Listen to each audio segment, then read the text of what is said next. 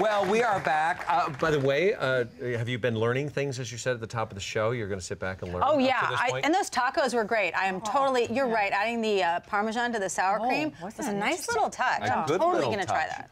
Well, now that you heard about the tacos, you've also been hearing about the probiotics a lot lately. Uh, there's a good type. It's a good type of bacteria that can help you with digestion. Also, can be, boost your immune system. And uh, internist and uh, nutrition specialist Dr. Melina Jampolis is back with us, and we're talking about this and the importance of it, what exactly it is.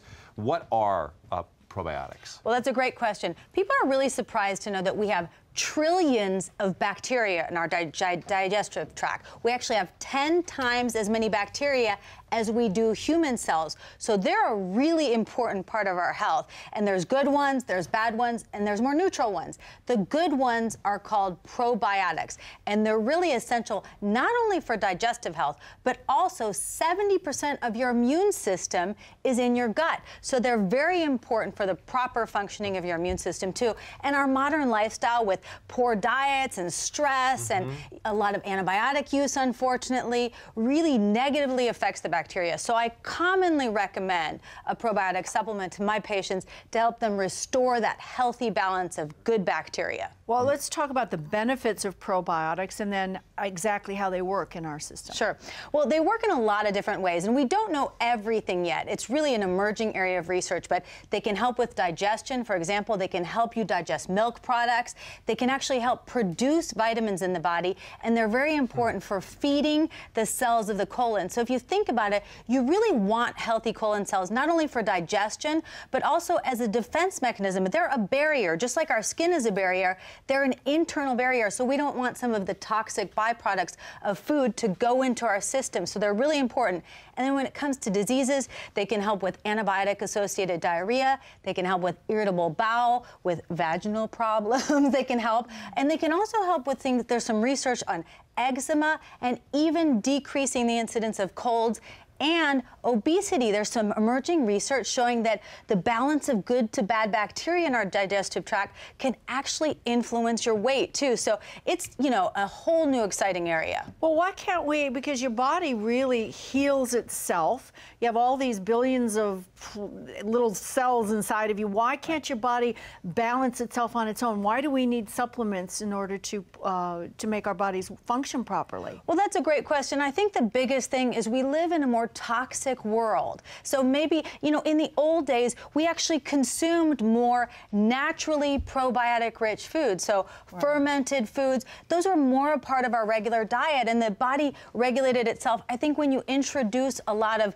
you know, think about how many things we're exposed to. I read somewhere that we're exposed to like 150 chemicals on a daily basis. Believe it. That with a poor diet, and we're using a lot more. I know my son was on antibiotics half a dozen times last year for ear infections. Mm-hmm. Every time, you know, I actually give him probiotics every single time right afterwards to make sure that I'm immediately restoring that natural hear balance. About, we hear about that. My, my youngest loves yo- yogurt. Yeah. So is he getting enough with that? That's a great question, and that's a really important thing that we need to clarify is that, first of all, regular yogurt, if it says live and active cultures, it does have some probiotics. But the reality is to get a clinically relevant dose, something that's actually going to do your body good, you would need to eat dozens of containers of yogurt a day, which is probably a little bit more than most of us can eat. So eh, that's where a high quality supplement, in addition to bringing in the fermented foods and things like that, can really be beneficial. What are fermented foods and why are they so good for us? Well, because they're a source of naturally occurring. So they're fermented with these bacteria. So the bacteria are kind of feeding themselves. So things like kimchi and tempeh and